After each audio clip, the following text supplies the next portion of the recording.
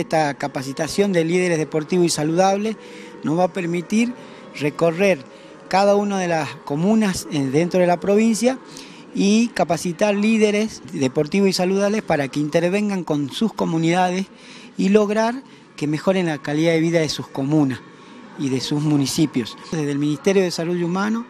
desde la Secretaría de Deporte y Recreación y desde la Dirección de Actividad Física, Salud y Bienestar, pretendemos eh, transformar la calidad de vida de los jujeños a través de capacitaciones.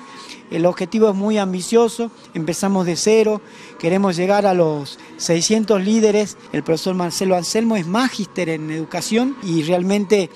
es un idóneo, es una persona muy preparada, donde ya también ha editado tres de sus libros, lo va a presentar acá.